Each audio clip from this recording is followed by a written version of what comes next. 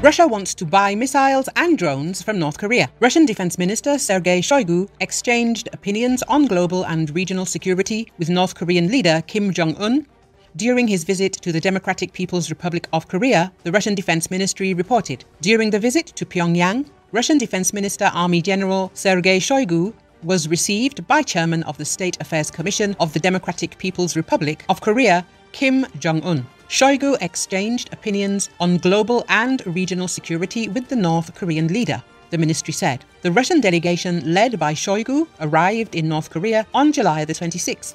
The Defense Ministry expects the visit to help strengthen military ties between Russia and the Democratic People's Republic of Korea and be a milestone in the development of cooperation between the two countries. North Korean leader Kim Jong un gave Russian Defense Minister a tour of a defense exposition in Pyongyang with images from North Korean media showing them walking past an array of weaponry from Pyongyang's nuclear capable ballistic missiles to its newest drones.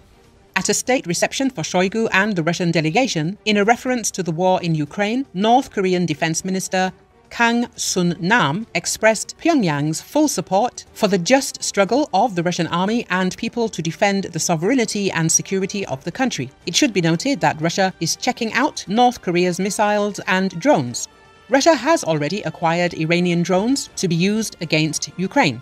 Russia's goal is to keep waging the Ukraine war on the cheap, and that may mean acquiring weapons from places like North Korea.